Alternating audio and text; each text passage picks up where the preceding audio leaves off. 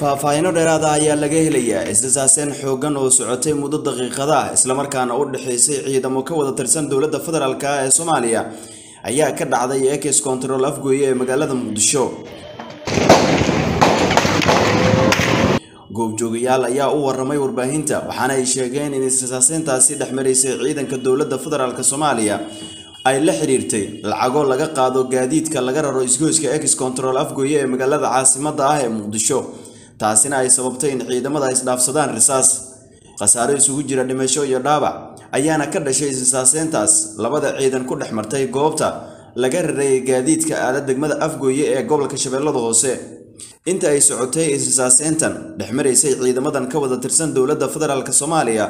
Waxaa go'ay isku socodkii dadka iyo gaadiidka ex control afgooye ee magaalada muqdisho.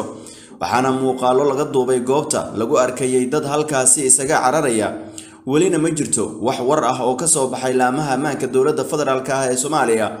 Isrisaaseyntii ka dhacday ex control afgooye ee magaalada muqdisho.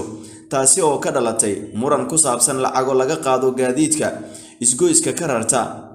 Si kastaba ha noqotee magaalada caasimada ah ee muqdisho waxaa sidaan oo kale ka dhacay isrisaaseen u dhexaysay ciidamo ka wada tirsan dowladda federaalk soomaaliya kuwaasi oo dhaawacyo kala duwan isgaarsiiyey.